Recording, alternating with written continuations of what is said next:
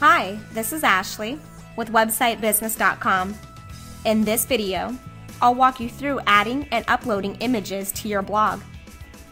Adding images to your blog is easy. It's done the exact same way throughout AtomWord. We'll show you an example with a blog post, but you can do the same thing anywhere you see the Content Editor toolbar. First, we'll find the Content Editor toolbar on our Post Content box as you can see here. This toolbar has many options to help you format your content. Let's get started.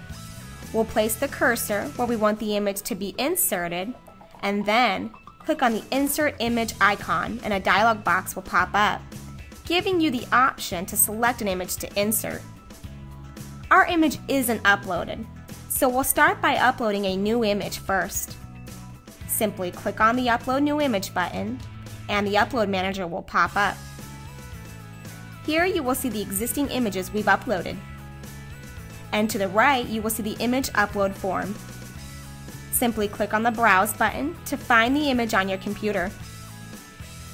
As you can see, we found our puppy image and selected it.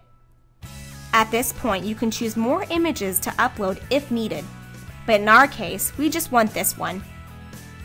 Now, we'll click on the Upload File button. And after the image is uploaded, we can see in the list of existing images.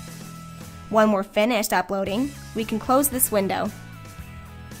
Now, to insert the image, all we have to do is choose it from the Select an Image drop-down menu, as you can see here.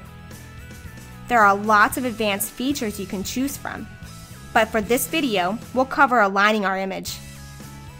To do this, we simply choose which type of alignment we like from the Alignment drop-down menu. In our case, we'll choose right. As you can see with the preview area, our text will wrap around the image.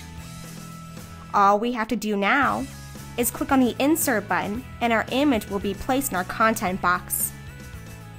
It's very important that we scroll down and we click on the Update button afterwards so we can save our changes. That's how easy it is to add images to your blog.